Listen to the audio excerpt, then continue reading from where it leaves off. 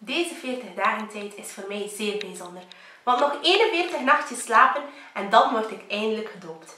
Door omstandigheden ben ik als kind niet gedoopt, maar ik kies er nu toch zelf voor om als kleuterjuf in spe toch gedoopt te worden. Ik vind het namelijk heel belangrijk om de Bijbelverhalen door te kunnen geven aan mijn jonge kleuters. Ik word gedoopt op Pasen met twee mensen die ik ondertussen vriendinnen kan noemen en we kijken er enorm hard naar uit.